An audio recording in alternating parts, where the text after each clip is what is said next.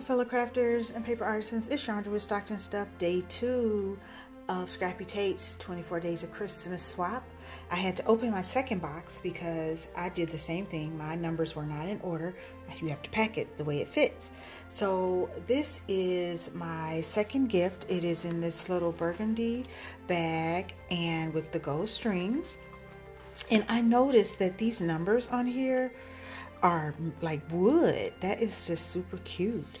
I love it. And then she did the little tags um, and that eyelash, um, which I cannot find this. Somebody tell me where I can find it.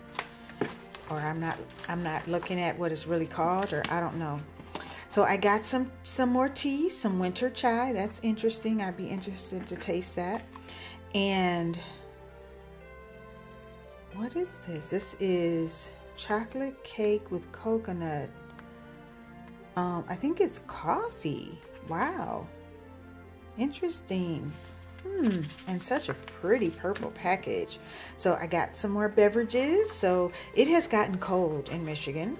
We have already had a snow um, two nights ago, and it was uh, quite interesting. It started like right around six and it came down fast and the plows weren't out yet. So I saw some dangerous driving, but made it home okay.